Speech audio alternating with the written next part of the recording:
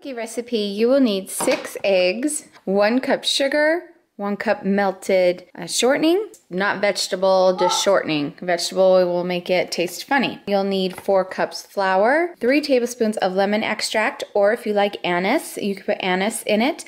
I grew up with anise and lemon and I love both equally, but today for the kids, they like the lemon better, so I'm going with lemon. No, and then you will need two tablespoons of baking powder, and a pinch of salt. So I have my Bosch here ready to go. So I'm gonna crack my eggs.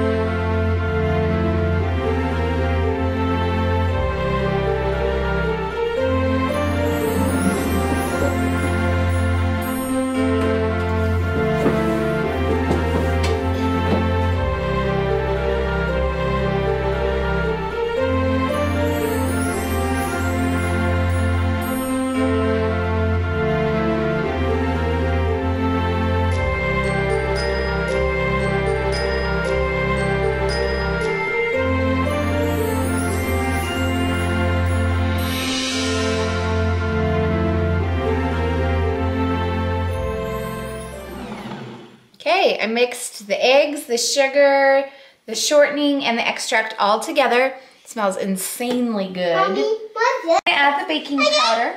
And then I'm gonna start stirring and adding the flour in there. I'm gonna give it my pinch of salt right now.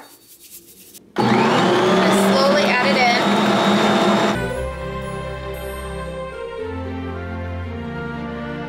in. If dough seems too sticky, add a little bit more flour.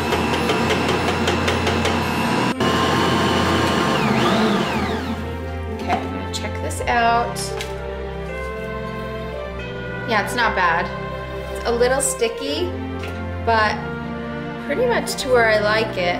Oh, I'm just gonna maybe add just a little bit more flour. Perfect. Awesome.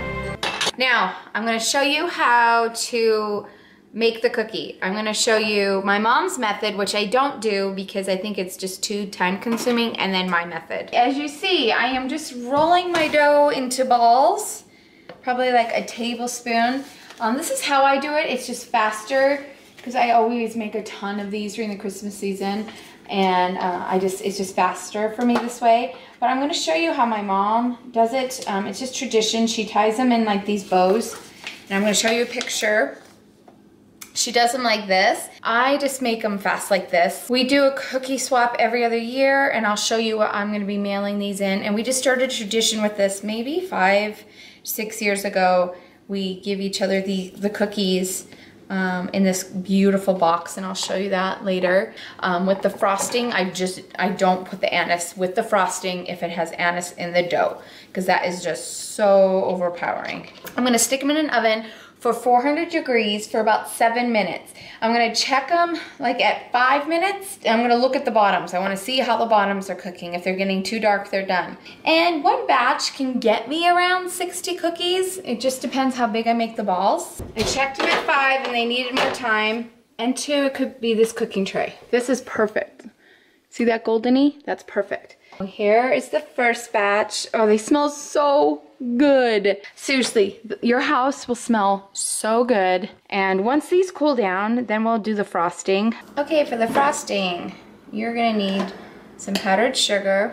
And I don't measure this because it's really off by sight. I'm gonna add just a capful of the lemon extract. And then some milk, just a little.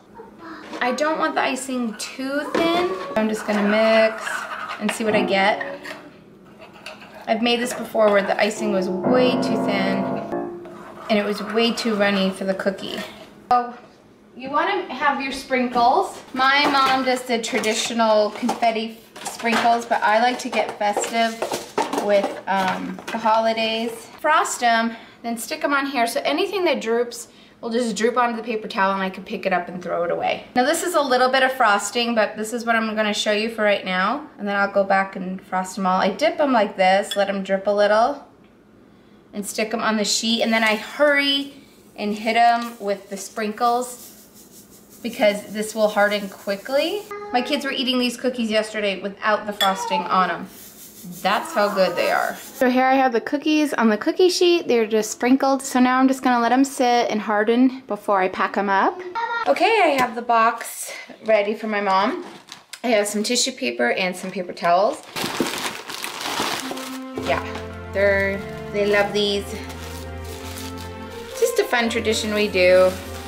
Cause we, my mom and I both love the box. She gave me the box.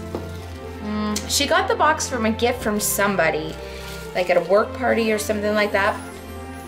And she loved it so much, she mailed the cookies out to me. And I was like, Mom, this is a great box. She's like, oh, I love it so much. I'm like, well, why don't we share it? And uh, so every year we, we ship cookies out to each other. So every other year we have the box and we get to enjoy the box at Christmas. Okay, so here's their box. It's not all the way full, but I have to make a ton of cookies this year. So voila, I'm gonna put another paper towel over it, just so it doesn't get stuck on the tissue paper. Put the tissue paper over. So here's the box. It's a beautiful velvet box. Um, and I take really good care of it because I, I know how much my mom loves it yeah, those are the Italian Christmas cookies. Uh, give them a shot. Let me know if you like them. So yeah, Merry Christmas, everybody. Bye.